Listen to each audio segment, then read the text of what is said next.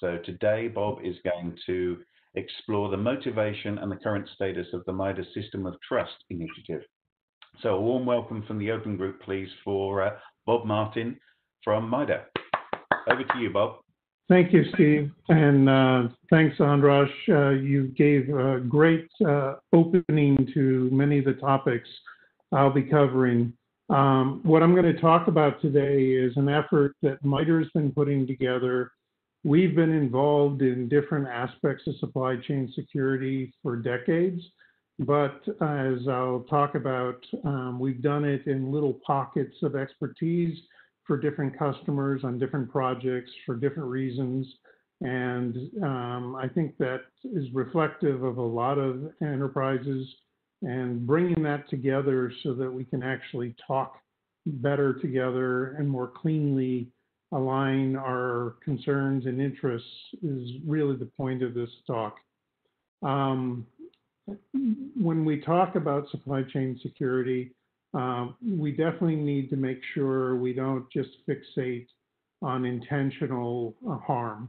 Um, definitely counterfeit, whether it be hardware or software, um, is something we really want to pay attention to. Uh, malicious taint or insertion, definitely something a lot of people are worried about, but we also need to make sure that the poor quality, the carelessly tainted hardware and software, or actual vulnerable uh, items is also covered. Um, because we really uh, need to have confidence in products and services and, and the, those that supply it across these different realms. So when we look at physical supply, you know, we look at how products are actually delivered. Here we're looking at air, air freight, but you can also look at um, sea freight, sorry. Um, and the, what I think everyone here knows, um, kind of in the back of their head, that more and more things come more and more quickly. And that's partly because the shipping industry has tremendously increased the size of the carrying capacity of ships. Uh, if you look from the 60s and 70s up through now, um, there's a huge increase in how many, um, you know, 20 by 20 um, carry, um, you know, carriages that they can uh, carry, which is reflective of what you can buy off of Amazon today. Um, so when we think about supply chain security, um, we need to make sure we don't lose the grounding in traditional logistics management and the kinds of issues that have been going on for decades and the reciprocal of that, the purchasing, the buying, the acquiring of those goods. But as we talked about in the last session, ICT aspects of things have gone up and up. So more of the things we buy and install have software, have networking capability, reach back, get updates. So how we bring things in, how we operate them, getting people trained, and the overall risk management in an organization is a huge part of this. And then, of course, because they are now being put on our networks, they're interacting with other systems, the whole cyber risk management of your enterprise and your insight into your suppliers is also a big part of it. But there's also some things that are unique and you know addressing the fact that um, software-enabled things have different kinds of risks than your traditional supplies is something many managers have had a hard time getting an understanding of. They were well on top of their risk management of suppliers until those suppliers were delivering goods that actually, you know, interacted with their networks and, and brought risk. So all of these are part of the background. So whether you're buying commercial office shelf or high value items, there's all kinds of examples of the supply chain bringing risk to enterprises where the kind of due diligence that many would have expected weren't there, whether you're outsourcing services or you're, you know, accidentally buying counterfeit, and counterfeit can be hardware or software. And so all of these are part of this picture, including just software itself, because today we don't build software from the ground up. We assemble it. We bring in libraries and frameworks. In fact, the most current example is something called Ripple 20, where a very, very commonly used um, set of libraries have a whole uh, passel of vulnerabilities. And the trouble is, it's so ubiquitous, people can't get a handle on which of their products are affected and who's going to update it when. So this is all a background that these different areas really get into the discussion of trust and trustworthiness. But on top of them, we also have to worry about sole source. There's the researchers out there, the buyers. And what it really comes down to is today, we talk past each other quite often we don't actually recognize the same perception about the issues that need to be communicated and given assurance about. And so it's this context that the MITRE work is coming into um, play. So as I said earlier, um, MITRE's been doing a lot of work in this area for a long time, but when you step back and look at it, it looks very chaotic because it uses different terminology, different scope, different abstraction. So one part of what we're doing is trying to bring some alignment and organization out of that chaos. We're trying to use industry standards, harmonize community norms, and also make sure we're not fixated on any one particular aspect. So whether it's geopolitical risk from where something is sourced or technological risk about you know, how something is developed and implemented, all of these are going to be part of the system of trust. If we were totally successful in doing that, we'd still fail because now we would have such a daunting, um, you know, kind of landscape of issues to be addressed that nobody could ever approach it and actually make decisions. So another part of what we're doing is making it um, a way to simplify, tailor, and bring into the context of what you're trying to do so that you don't get lost in the details. So um, this is basically our key value propositions. We're going to have broad uh, breadth, consistency, make sure we integrate all these things, bring in the contextual part to let you tailoring. We also want to make sure that innovative very cutting edge approaches or nuanced ways of looking at things fit in, so the extensibility. And we want to make sure that you know the commercial offerings out there for uh, giving insight into some of these uh, concern areas fit into this approach. So, what is the basis of trust when you are uh, an organization? You know, I can trust you, Steve but how do I trust an organization? It's not based on personal history. So we've divided it into three aspects the supplies, the suppliers, and the services. We call those our aspects of trust. And what's keeping you from trusting the supplier? Well, it's concerns.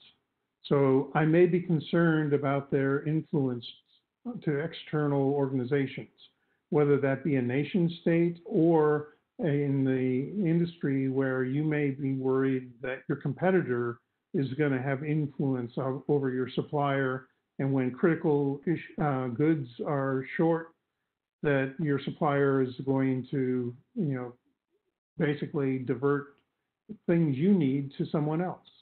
Um, organizational stature, where are they? Where are they? Um, their critical capabilities, and what kinds of risks would um, that distributed nature of the organization possibly flow down to you as a uh, purchaser? Are they financially stable? Next, you know, you make a great decision on suppliers, but two months later they're, you know, on the rocks and cutting corners and no longer is the quality what you uh, chose them for? Are they malicious? Um, you know, are they just out for a fast buck or are they a, a honest broker, good uh, partner? Again, organizational security, if all the others were great, but they're sloppy in their securing of their networks and their capabilities, they could just be an attack vector to you where they someone gets into your organization through them. Do they have a improving uh, process, a quality culture? And susceptibility is something where are they so focused in a small niche that they're an obvious target for anyone who wants to go after those customers? Or do they acknowledge that they are a specialized group and they know that they're going to be an avenue of attack to their uh, um, customers? So right now, that's where we have our top level concerns for suppliers. In supplies, it really comes down to three um, hygiene, counterfeit, and taint. So, taint, whether it be malicious or not, counterfeit, uh, whether it's that they carelessly pull supplies from someone who provides counterfeit, or they in fact are offering counterfeit, and hygiene, do they have good practice and normal business practices of good hygiene and good manufacturing, whether it's hardware or software and, and the like. And then in services, uh, this is an area where we're actually looking to some recent work out of the Open Group to improve this, um, where you know it's not just physical and remote access, but there's a lot more nuances. So this is still a work in progress. And when you sit and look at these concerns, you just don't say, oh my God, I've got concerns you actually go in and investigate them. So there's lots of sources of information, whether it's open source, whether it's asking questions, whether it's getting uh, samples and uh, reviewing them. Just lots of ways you can kind of come down to is that concern valid or not, and therefore understand your position with that supplier, that item of supply or a service. So let me just dig into one of them to give you a little more detail. So I'm going to look at suppliers and their internal influence, and I'm going to look at ownership. So, you know, basically digging down, well, how do I get to that next level of understanding that concern? So here, the key uh, management personnel and non-persons, do they have a relationship to countries of concern? So this is something, obviously, for many organizations, especially in the government, they've been asked to look at that. And so what we've offered up is simple yes no questions um, that probe into that. And while I say they're simple, making something like this a yes no question takes a lot of understanding about this risk area and getting the question to actually have that intelligence about the subject matter in the question so that you don't end up with a question that then takes an expert to analyze the answer. So here's uh, examples of six of these, each of which can be uh, answered either because you go and ask the question or because you investigate them. So this is just one example, but in putting these detailed questions together, we're also trying to understand what does it take to actually work with that answer or to get that answer? Does it cause cost money or cost technology? Do you even have a legal right or ability to answer or ask that? How long would that information be useful and how easy is it to misdirect? all these things are going to help us tailor the system of trust based on that and other kinds of information. So, oops, sorry. Um, if you look at our overall arching kind of um, knowledge map here, um, lots of different areas, and I'm not going to try to uh, you know bring you through all these, But the idea is we want to have it a balanced look at concerns. Um, you may focus on one or the other, but you know, getting the vocabulary, getting the discussion onto a single sheet of paper, as it were, so that people stop talking past each other or only fixate on a part of the problem is where we're going. So in the deck, you'll find some of the sources we're using. You'll find a bunch from the open group, as well as some from the IT Sector Coordinating Council, and um, lots of good things here. Um, I'm not going to, you know, go into those in detail, but we also have offered, as we have done in many of our community efforts in the past, anyone who wants can offer up, um, without revealing who they are, insights if they want to uh, contribute them under what we call a unilateral NDA. Basically, the organization is offering us material to help build out the system of trust, and um, you know we'll do that anonymously so that their insights can be shared. So, talked about the vocabulary, the taxonomy. There's actually a data model behind this, and there's actually a tooling tech, you know, stack also behind it. Um, but that tooling mostly is for us as we build this.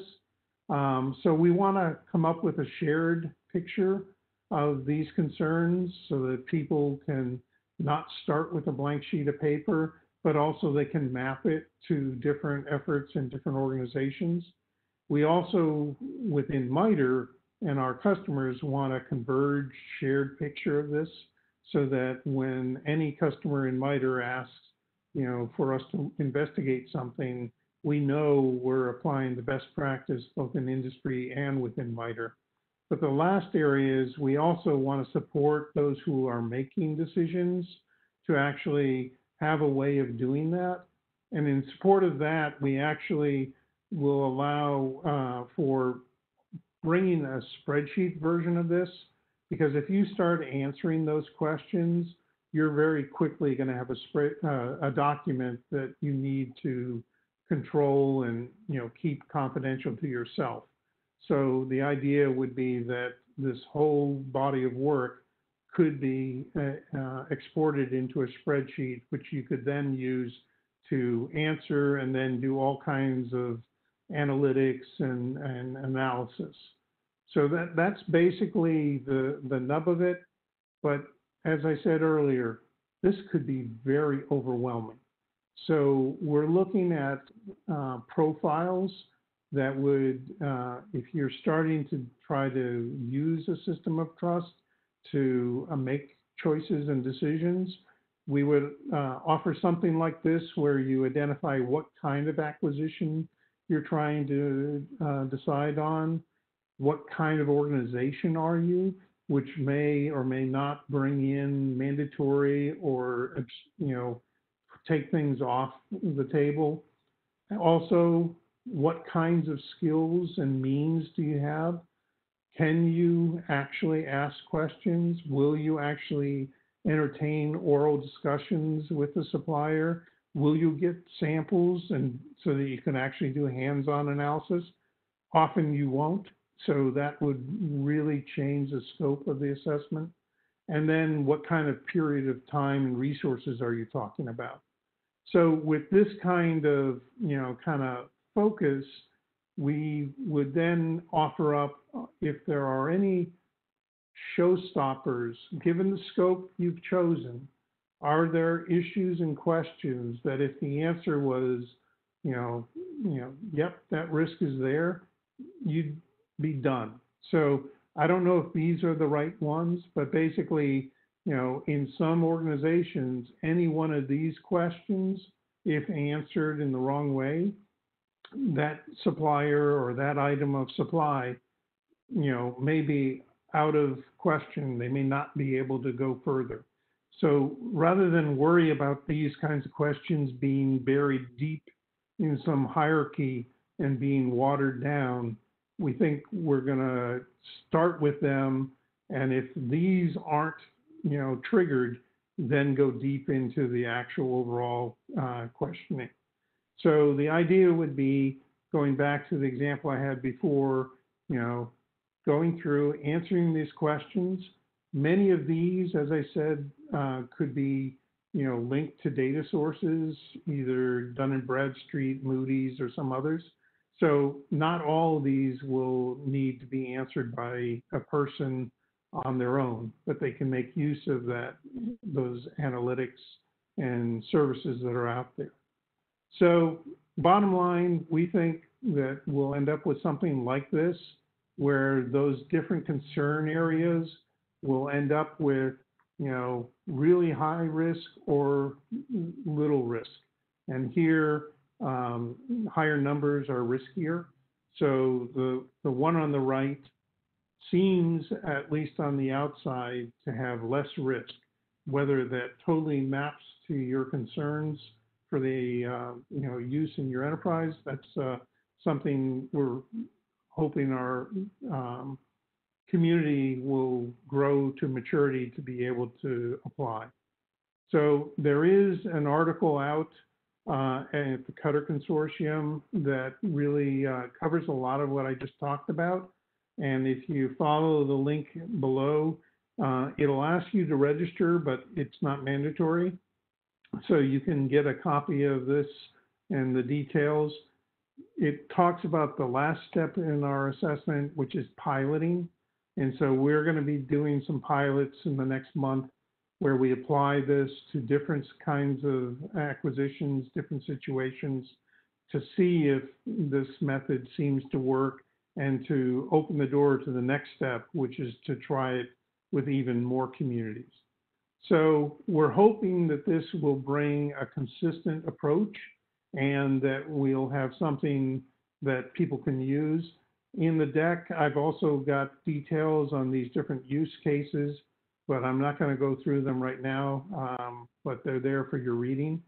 And with that, I uh, thank you and take the next part of our discussion. Bob, thanks very much. That was a whistle-stop tour of clearly a lot of work's going into this. Um, so just to clarify, the intent is that this would be available to um, anyone who wants to use it, or are there um, requirements? That's that's what I took from it. So, so what I'm hoping is that we'll be able to work the overall uh, structure of this and talk with lots of people, align it, get it um, to make sense to as many communities as we can. The, basically, to distill some of the terminology and disconnects and scoping and focus disconnects that are just continuously getting in the way of making informed decisions. Yeah, absolutely. Okay, well, um, as you know, we'd be keen to help at the Open Group, so um, bear bear, uh, bear, that in mind. I know you're you're uh, a regular participant, so yep. we don't we don't have much time for questions, Bob. But um, but let me start with this one. Um, is there uh, is there not a sustainability piece to risk these days? Uh, i.e., if a supply is not operating sustainably, they may not be able to operate in the longer term. Uh, totally uh, understand that as a new area. Um, right now, the material we've collected gets into that in financial stability and you know understanding their supply chain. I expect that to get uh, richer as people give us feedback. Um, but yes, sustainability is definitely a discussion area um, that's been brought into sharp focus by the last five months or so. Right, right. Um, another question: How successful? Um, uh, let's see. How successful is it to use the software composition analysis in identifying security issues in third-party software components, libraries, etc.? So I think that um, it runs the gamut. Some of the uh, software composition analysis capabilities are very rich in understanding uh, third party, especially open source components. I mean, they actually study the open repositories, understand how they've uh, evolved over years, compile them into different binary representations so they can recognize them fairly uh, accurately. Right. While some others are a little less uh, mature, but that whole area of understanding your software supply chain and understanding what has been used inside your software and the software you had is a huge area. Um, I'm actually very involved in uh, software bill of materials as a way of giving a technical handle on that, but it's not a panacea. Understood. Last question, Bob. Do you see this resulting in some kind of supplier tiering or a supplier score um, within an organization, for example? Well, I think that happens today. Uh, Yeah. Any and, and what I'm hoping is, given a consistent backdrop of of issues, concerns, that there'll be more. Um, those uh, sorting will be more rational and consistent, and so the message to the market, no matter which you know supply chain you're in, will be more consistent. Because Yeah. today, I think you have that happening, but under, you know, why they get ranked low and how they get better depends on which supply chain they're in Yeah. and, and what the other practitioners are doing. Whereas if we're successful, there'll be more consistency in the messaging about what are concerning issues and how do you address them. Bob, thank you very much. I love the graphic, the cartoon of yourself. It's like you're on the screen for real. So, um, uh, the artist that uh, did it at RSA a couple years ago. well, it's great. It's uh, it, it, it's nice, nice and personal. And uh, Bob, thank you for your uh, for your insight and thank you for uh, sharing what you're up to. And um, keep safe. Thanks for the opportunity and same to you and yours.